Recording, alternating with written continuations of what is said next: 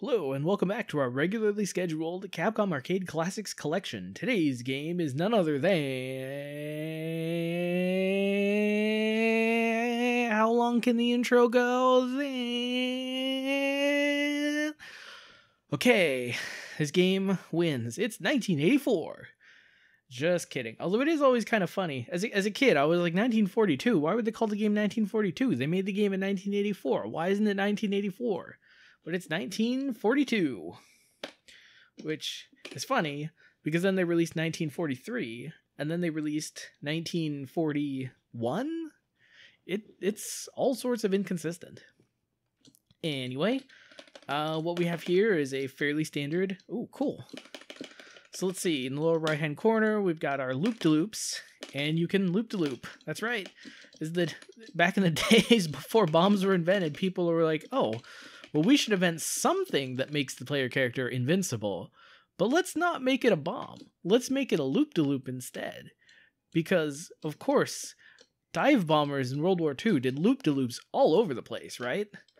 Well, I was gonna say they made history, but they really kind of didn't. No other, no other series other than the last thirty-two stages. Holy cow!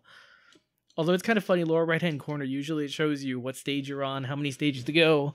But I guess they figure that because this game tells you anyway, then um, it they don't need they don't need to be the ones who tell you. So we are of course doing the super score mode, and ooh, 56%. I thought it was going to be something more embarrassing. Oh, today's top 30%. I mean, overall, it's pretty embarrassing. Okay, 70k, and we got 4k. What a ways to go. What a ways to go. Actually, one interesting thing about this game is that I already played it on this channel. I think I even played the arcade release, although, now that I think about oh, weird. You can only go so far back on the screen. Yes, this this is as far back as you can go. Is there a limit to how high? they only let you go three quarters of the screen up. They're like, hey man, we want you to be a daredevil, but not that much of a daredevil. Although, actually, now that I think about it, I can't remember if I played the arcade version or the Nintendo version. You know, it could have been the Nintendo version. That could have been like the start of Ashgabat Cats. Let's play that. a now discontinued series where I used to play random uh, not arcade games, but random uh, Nintendo, Super Nintendo, Genesis, PC Engine, Game Boy, Game Boy Advance, uh, Neo Geo Pocket Color. I think that's all. I mean, you might have said it was a little scattered, but I mean, come on. If the game system itself wasn't also random, or didn't feel like it was randomly chosen, then what would be the point, right? What would be the point? Well, we are in a shoot 'em up. It is inter well, okay. For, one thing that's kind of weird about this game is I'm actually almost tempted to use the non-auto fire fire. I mean, again, like there's only so many planes, so it's not like you constantly have to have auto fire on all the time. Plus, this is one of those shoot 'em ups where you only have a limited number of shots you can have on the screen at once. So, well, it's more important to make them count than it is to put them out. Oh, dead already? Really? Okay.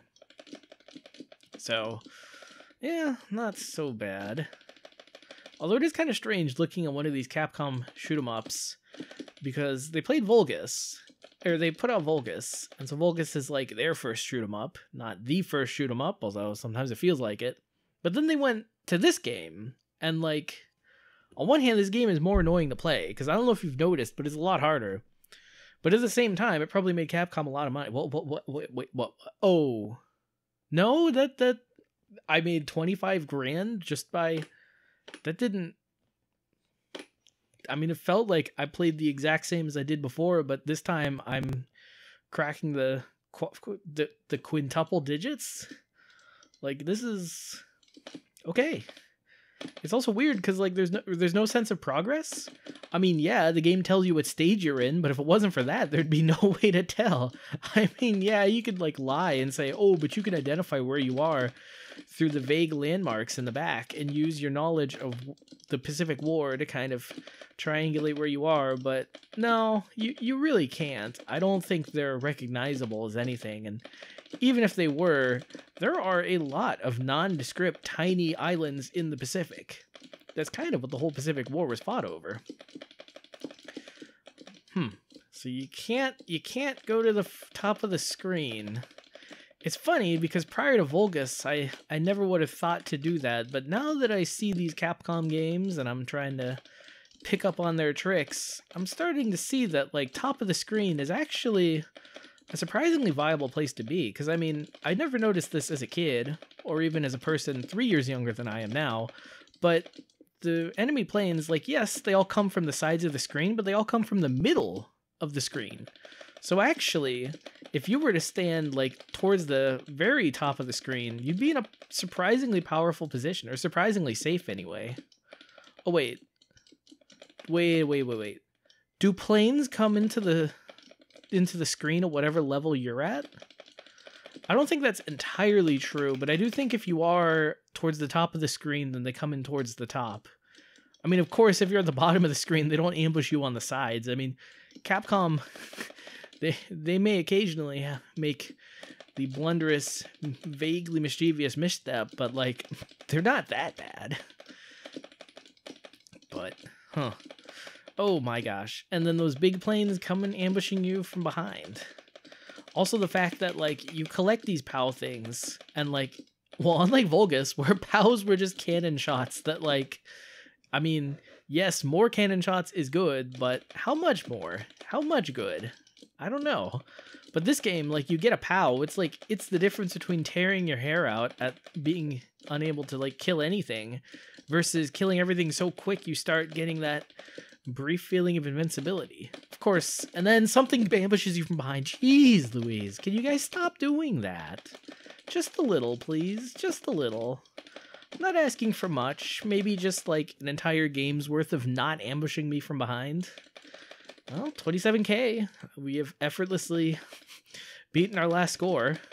Not that it feels like it, because I mean, again, we're fighting the same enemies with the same weapons in roughly the same place and it's the same gameplay. That is kind of one weird thing about these sort of early arcade games where like they really did not distinguish the gameplay so much. Well, I say that, and yet Higemaru, I mean that one actually distinguished its games quite a bit or levels quite a bit. And I'm not just saying that because of the color, although the color really does help. No, because you get to the high point round and it's this kind of like it has this definite feel. It's just you and the good pirates. Can you beat them? Who knows? This is a test of skill. Also, there's high point items to get. And then you go back to the regular stage, and it's like, oh, it's filled with tons of lame pirates. Can you fight boredom as you defeat them all? But then you get five stages in, and then it's like, it's this weird grid pattern that looks more like a Bomberman game than an actual Higemaru map. And, like, that one is actually pretty tough because the pirates go on corners or they turn on corners and if there's a lot of corners there's a lot of pirate turning there's a lot of unpredictability there's a lot of them ambushing you whereas this game i don't know i mean i'd say they ambush you but i feel like this game is almost more about finding the safe spots it's weird because like almost the exact middle of the screen seems to be that safe spot I mean, what other shoot 'em up can you just hang out in the middle of the screen? I mean, you play something like Iron Ironclad. That's right. I mean, I just played it and it was already so forgettable. I can't even remember its name. But it's like that one. If you try hanging out in the middle of the, well, I, I got distracted by the PAL. How's that for an excuse? But in Ironclad, like you hang out in the middle of the screen and then the boss just like immediately sucker punches you. No no wind up, no build up, no muss, no fuss, just you looking at your exploded ship. I mean that one gave you like 5 hit points, so I guess it was ultimately like forgivable, but it was kind of annoying. Whereas this game well, I guess 3 is a fair amount of lives to have. Yeah, this this loop de loop is it's very interesting how like non-advantageous it is for you because I mean, I don't know if you've noticed, but like you can't actually move whenever you activate it. Now, it is of course preferable to instant death, but it almost feels like you're trading away instant death for an eventual death. shooting down 85%. And we're right back. Oh my gosh. That was a stage. We have how many? We have 31 more stages to go. That's a lot of stages. I don't think we're going to see the end. I say that like we saw the end of all the other arcade games. Well, we did see the end of our playing them at least. And hmm, let's see. So when you shoot the shots, okay, so when your shots hit a plane, they disappear. Now that sounds obvious, but here we've got our super wide shot. And even when the super wide shot just barely grazes a plane just out of the very corner, oh, you don't get double pow? Man, this game, no breaks. But even if you're wide shot, just the very... I mean, I guess I should have seen that coming, but fine. I will stay in the middle of the screen like a good observant person. Oh, I see now why I chose the back of the screen. Because, yeah, you get those big guys shooting at you, and the planes aren't so fast, but their shots are pretty fast. Actually, yeah, why are the why are the bosses' shots like just three times faster than regular planes? That's kind of weird. it's it's kind of embarrassing because these like individual planes of shots are not that fast. Now the boss, I mean, yeah, it's fast, but like to say it's highly telegraphed is like quite the understatement. I just realized uh, in this game it shows you a little medal if you beat your high score. I I feel like that's not entirely consistent, but if you're just following along at home, you can see if I did better than last time. The answer is usually yes, but you never know. Eventually, I reach that cap when anyway, eventually I reach that cap where I just am not seemingly improving anymore. Hopefully, I won't reach that anytime soon, but well, that's off to a great start. Huh. It's weird because, like, yeah, you want to shoot everything, but in order to shoot everything, you got to give yourself more time. So you got to work your way back to the back of the screen. But if you hang out at the back of the screen, then they're going to ambush you with the big ships or big planes. And I mean, yeah, maybe you could just memorize when the big ships come, but that like I feel like that's way more games of 1942 it's going to take me to do that. I don't want to do that. See, I just got completely ambushed by these guys. Wow, their shots are faster than the enemy planes. This is ridiculous. And yet, oh man, oh man, oh man. I wonder if that big boss only counts as like one enemy for the purposes of the enemy kill percentage. I mean, I guess it has to, right? Like, you, you can't just arbitrarily count it as like three ships, but it does seem kind of unfair. I guess you get a point bonus for it, but if it doesn't show you the point bonus, then like, does it even really count? So now, now that I have played Vulgus and I have that to compare this game to, I'm kind of curious. Like, what what overlap in teams are there between the two well, games, I guess. Because on one hand, like Cap- Capcom puts out like what four or five arcade games a year in their early years. I mean, is Capcom Arcades collect Classics collection is like what 30 games, which doesn't seem like a lot, but that's probably a pretty decent percentage of their catalog.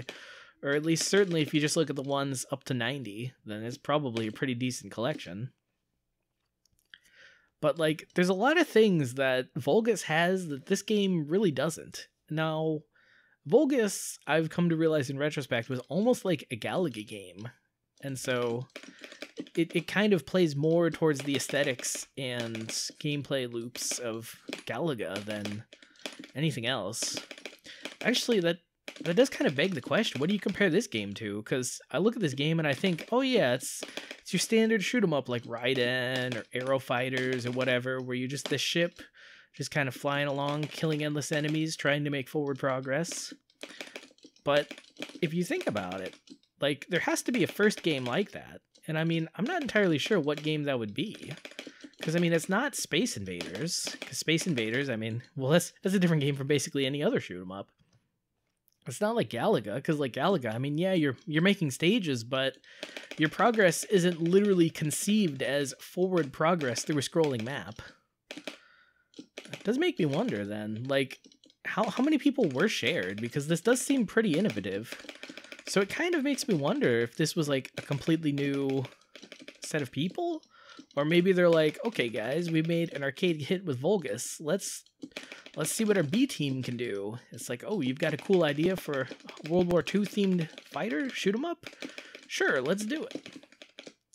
What are these enemy patterns? It's it's funny because like it gives me the same enemy pattern in a row.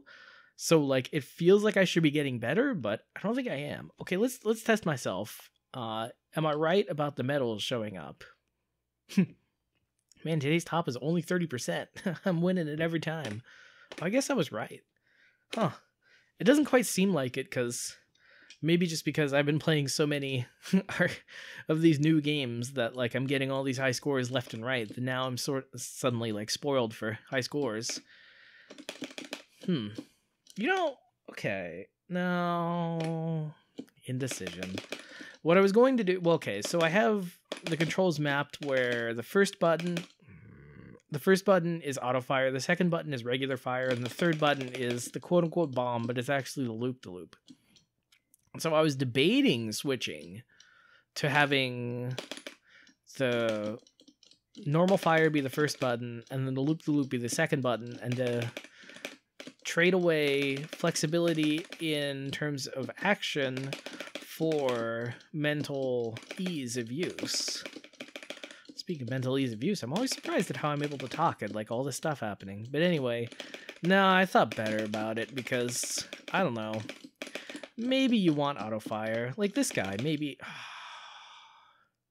It still feels like I can shoot faster with the other one. Well, okay, that's the thing about auto fire. Oh.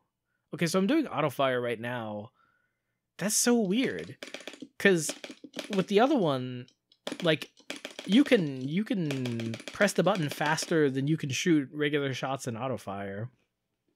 Maybe that's just because they made the executive decision to slow down your auto fires, you'd have a constant um, stream of attack. But the thing is, they structure the entire game where the enemies are coming at you in like like little dense clusters. So that's that's really not the way you want things to be. You know what? Let's try that. Let's try that.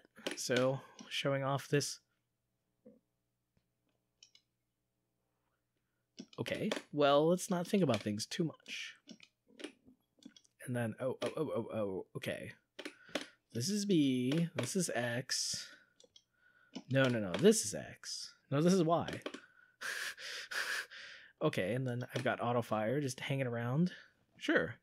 Let's try this. Oh, cool. How to play. Huh. I've never. Oh, I was looking for the page two of how to play, but it's 1942. I mean, come on. There's really only one way to play.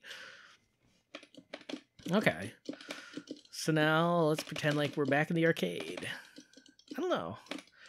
Maybe this will get me to use the loop to loops a little more often. Well, so using bombs in these sort of shoot 'em ups is always like an interesting proposition because um you only get so many of them. You don't want to become reliant on them, but also there's a delay. And so, in order to use a bomb, you have to almost consciously make the decision that like things are going bad, but and like bad enough that you're pretty sure you're going to die unless you use up one of your precious resources to resolve the situation, but not bad enough that you're instantly dead. Or, or but but like still bad enough that you can't just like wiggle wiggle dodge your way out of things. Like there, I was able to see the big ship trying to ambush me out of the corner of my eye, but like in normal circumstances, I don't know. Well, I mean, it's it saved me. It's it's weird only having two buttons instead of three. You you'd think it wouldn't really make a big difference, but it's all about that split second because you saw that split second without paying attention, and I would have been destroyed by that shot but I was able to loop to loop in time. Whoa. Yeah, I guess loop to looping in this game is not it's not really cheap because like you're kind of stuck in place, so you really need to be know you really need to be knowing what you're doing otherwise loop to looping is just a quick way of killing yourself later. Plus it's not like you you get a lot of loop to loops. I think they replenish each life. Oh, do you think they replenish with the ship too? That does seem unusually generous for a game that Capcom like clearly designed in such a way to like punish you. Oh no. Well, never mind. Okay, loop de loops. I'd say I can finally see that 70k score in sight, but I don't know. I feel like I've been playing a fair bit better, and I'm only at 20k. I want to say at least got 40k without thinking about it like a few minutes ago, so I don't know. 70k. Do I think I can make it? And here I was thinking I would just be like, oh, but 1942, I already played that game. Let's kind of mess around by setting it to like super fast and just playing that version instead. But no, this score round, it's just. I picked up a POW. And now what is what is this nonsense? I picked up a POW, but I don't have the wide shot. I have a fast shot? Are there different POWs? Like, in how to play, does it explain that? Fire a shot, loop to loop. I, I like it. It's like your loop to loop can only be performed a limited number of times. Try to try to save them. It's like thanks game, thanks game. Well, if there are two different um version versions of POWs, then like they really should have explained that and how to play. Otherwise, why even have the how to play? I think I'll just go back to ignoring that. It is kind of interesting, like how as I've been doing this series, I've been learning like more and more little nooks and crannies about this game collection. And like, there's some stuff that, well, okay, I was gonna say I took for granted that like changed my mind. No, it's it, admittedly it's all a bunch of small little stuff, but small little stuff adds up after a while, and ultimately, what? What? I thought this was a simple game, but I guess it's not. I don't understand. Capcom, what is your game design philosophy? Is it just to like throw a bunch of stuff into your games? Like, do they intentionally make their games to be like weirdly obfuscated in like small, semi inconsequential ways? You can at least pretend that you heard me. Loop to loop in time. Okay, I'm almost getting a little tilted. Usually I've got I've got it by now. I didn't even get a high score that time. All right. You've seen me at my worst. Now see me at my best. Or so I'd like to believe.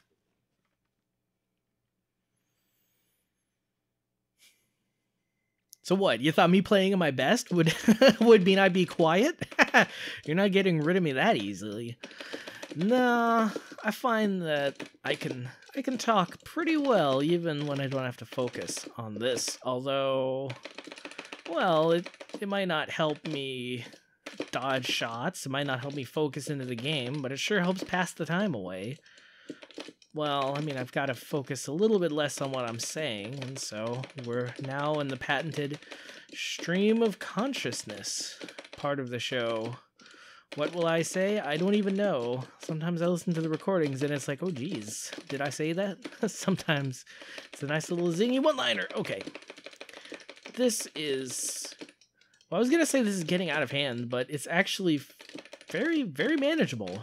I don't know this game. Like once once you've seen it a few times once you kind of pick up the techniques and once you figure out like where to be on the screen okay maybe maybe i don't have this game quite as figured out as i would have liked to think but it's strange because you can like kind of get good at this game but you also kind of can't because it is like the game is clearly stacked against you. Like, you do have to be good at this game to make forward progress. This isn't like Vulgus or Higemaru, where you can just kind of bumble and stumble your way through. This game, this is almost the beginning of like arcade games that are actually kind of hard, like con- in- intentionally conceived of as hard.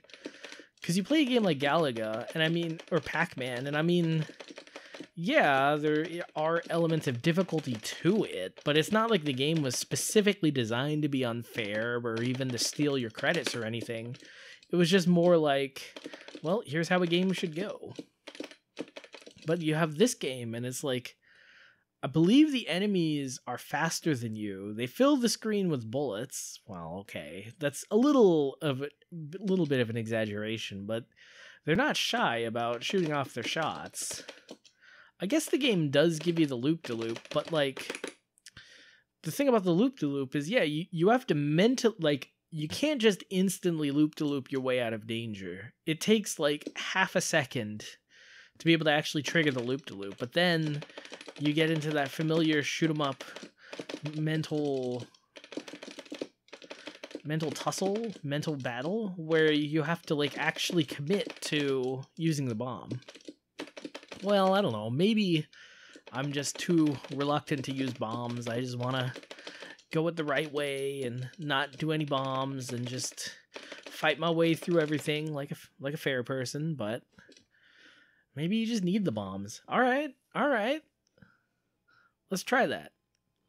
I've I'm desperate enough that I'll I'll try whatever at this point. I got to get that 70k. Otherwise, well, I don't even want to think about what'll happen. it's not like anything will happen. I don't know. But sometimes self imposed challenges are the ones you want to meet the most. Okay, I guess maybe I could think about what kind of routing should we do for this game? Because it feels like you want to stay in the middle and have that be your sort of neutral stance and like you want to fight your way back to the middle. Now you need a little bit of extra time to shoot every single fighter that's coming at you. Yeah okay return back to the middle but once you're done with that go back to the middle. That's interesting. So okay fighters come at you but fighters come at you from the sides of the screen. So what that means is if you want to actually shoot everything that's coming at you you're going to have to swing from left and right However, they do travel in sort of a diagonal pattern. And so, if you're willing to hang out at the bottom of the screen, you're able to shoot everybody with sort of a minimum of moving left and right. So, it's almost like the game itself is kind of designed to funnel you towards the back of the screen. But once you're in the back of the screen, that's when they ambush you with like the big ships coming in from the back. And so, it's it's interesting this game. I said I was going to use bombs more. I guess I used one bomb, but do you get points for bombs? Probably not. Why would Capcom be that generous? But it's kind of interesting, like working through the game's design and thinking, oh, so you can't move up or down when you're doing a loop to loop, but you can move side to side, which I suppose that's sufficient. But it's like the entire game is intended to get you to move behind. Okay, so far, I've been trying to chase down every every last shot or ship to get every last shot in. But you know what? Let's let's let bygones be bygones. If a ship passes by me, then we don't want to give up our position in the center just just to shoot them down. I don't know. Does that make life easier, harder? I mean, certainly you protect yourself against the big ships a bit better, but huh does almost seem a bit safer. And especially too, because if you chase down every single last ship coming at you, like I did just there, then it's just not it's not gonna work out well for you. Huh. So you get fresh loop de loops every single time you clear a stage. It feels like stages aren't well okay. Assuming the stage length keeps up for the rest of the game, it feels like stages aren't quite so far away. So maybe you are kind of encouraged to use your loop to loops like a little bit more graciously. And so, okay, you get like three loop to loops per stage, as the game gleefully keeps reminding me. There are 30 some odd stages. So that all in all, that's like what, 90 loop to loops? Each loop to loop takes like what, quarter of a second? So if you play your cards right, if you make it to the end, then you could have you could have spent like, I don't know, maybe a 20th of the game like completely invincible. It's weird when you think about it like that. Well, okay, here's here's a weird percentage. what percent do you think that people spend like not working? Like what percent do you do they get time off? The percentage actually sounds pretty large when you think about it, because it's basically one seventh. Or no, it's basically two sevenths. Why? Weekends. Most people get weekends off. it's one of those funny facts that kind of blew my mind when I heard it, but then I heard the reasoning and I'm like, why didn't I think of that?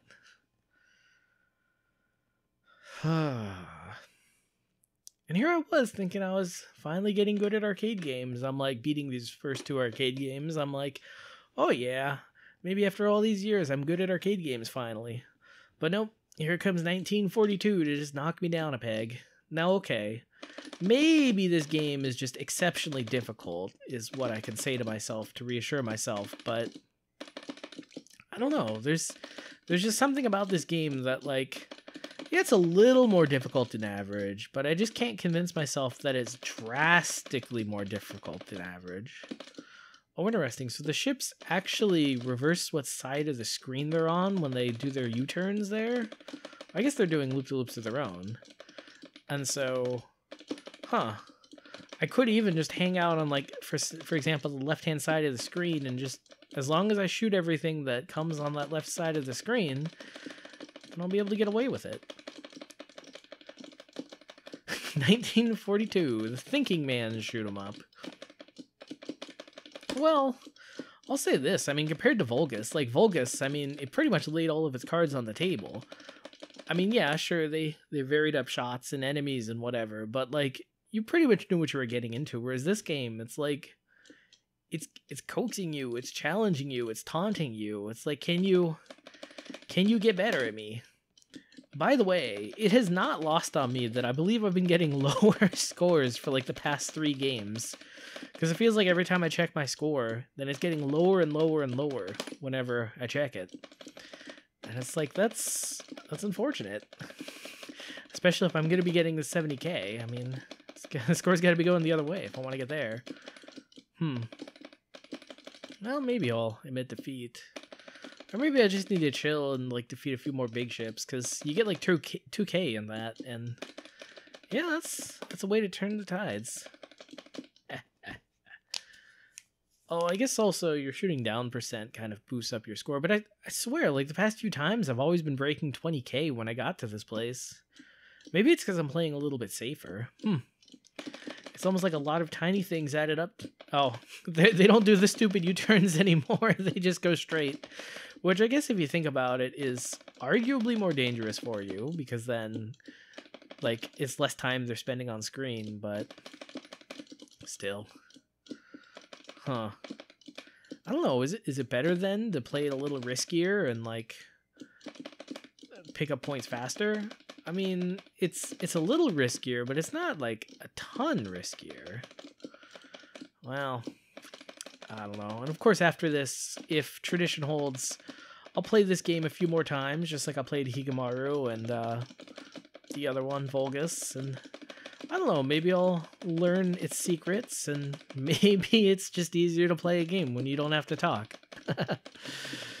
you know what they say, the camera subtracts half your score. Still, though, there's there's a certain joy to be had with the camera on, and if nothing else, it at least forces you to actually play the game and interact with the game. I don't know, it's weird because like you'd think the camera would be distracting me, and it is to be sure, but it's also forcing me to actually play the game because I mean I've I've been a kid on my own and I've played these various arcade collections, not this one because obviously it wasn't released when I was a kid, but like for example Namco Arcade Collection, and it's like yeah, I'd have played my favorites, I'd have played Galaga, but past that I didn't really spend a bunch of time with all those other games. I just kind of choose my favorites, get in a groove, get in a rut, and then eventually give up the game and I don't know play Super Mario or something.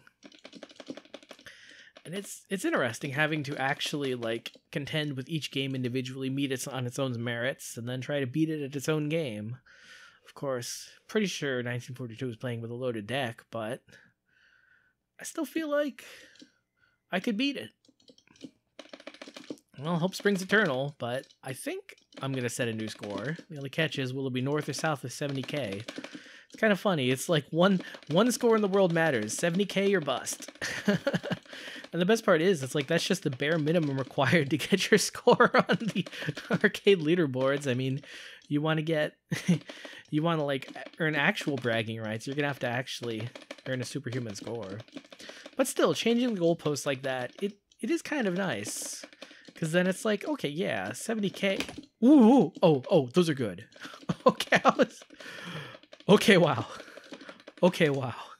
that was pretty extreme. Did you see those guys? They came in from like they didn't even come from the side because like every other ship comes from the side. They just like came straight from the front. And so it was like doubly jarring.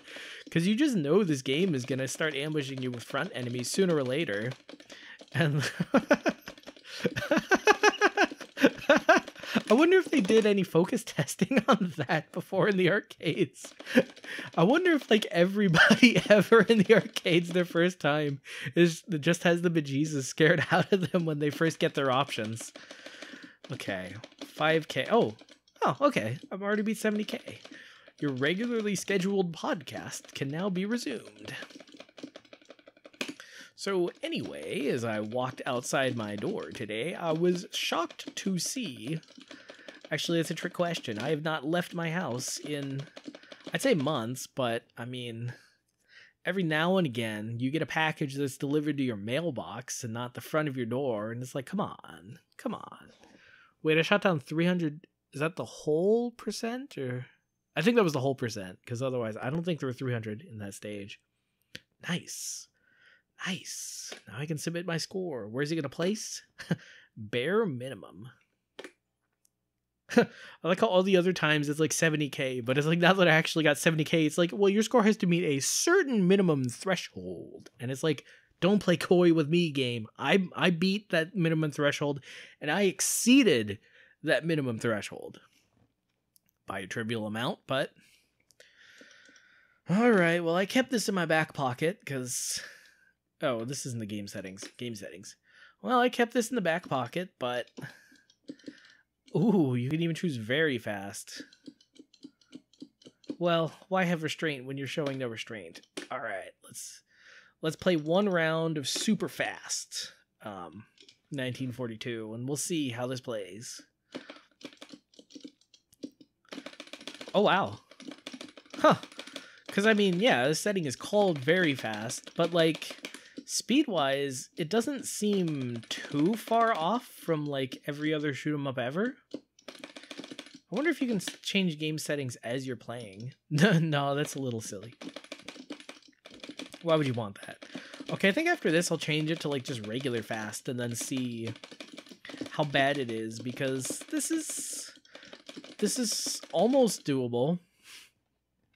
Okay, and then you get to the actual hard parts and you just like instantly lose.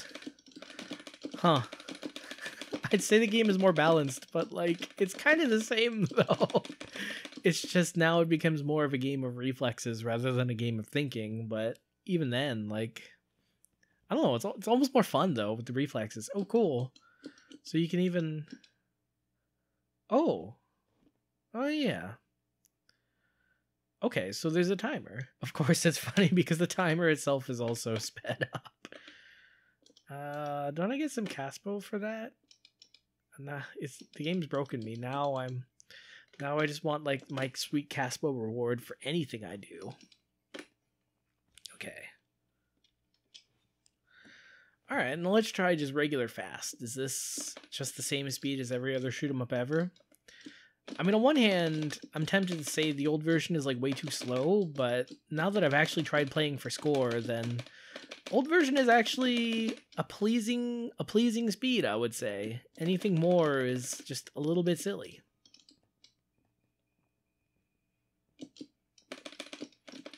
Huh. Okay. Man, one thing I'm not entirely looking forward to is Captain Commando. I already played that, and I've played all these beat 'em ups, but I've got to play the beat 'em up for score, right? Oh, maybe I'll play for score, set it to fast, and then play that instead. Well, because, I mean, beat ups are nice, but after a while, it's just the same thing over and over. And if they're easy, then it's just, it's mind numbing. And if they're hard, then it's clearly stacked against you, and it's an unfair game, and you shouldn't even be playing in the first place. And so it's like, what are you going to do? But, well, that'll be part of the fun, figuring out how to make your own fun. Now, I mean, yeah, ideally the game designers would make each game fun, but, well, sometimes you gotta augment them. Oh, nice. So you can. Vulgus Sun Sun Higemaru X to X's. I get that reference. Uh, I mean, I guess you could continue, but why? Why? It's interesting. Like the most fun way to play these Capcom arcade games is try to do score score challenge and see if can you meet the minimum score for all the games. It's it's set at a level that's like I don't know.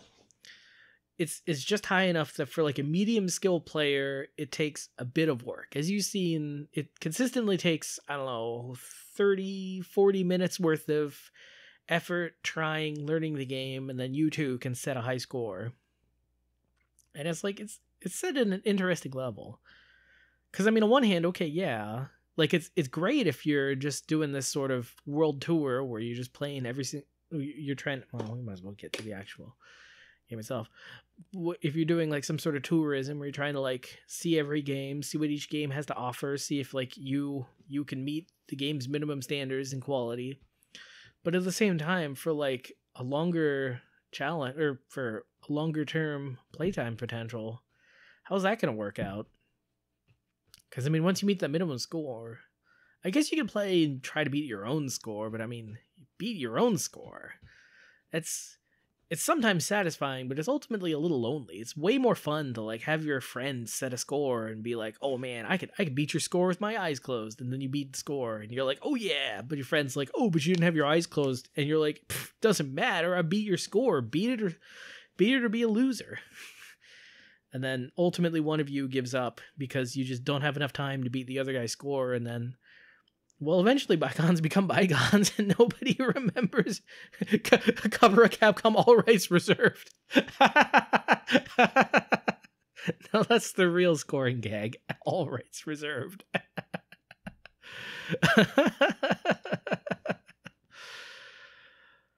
Ah, oh, 1942. Admittedly, I did not think I would have nearly as much fun as I did as as the amount of cumulative fun I've had by the end of this time. But you know what? I'd say I've had a satisfactory amount of fun, and I would give this game satisfactory score out of 10. Well, I'm feeling pretty accomplished, pretty satisfied. So on that note, this cat's got a scat.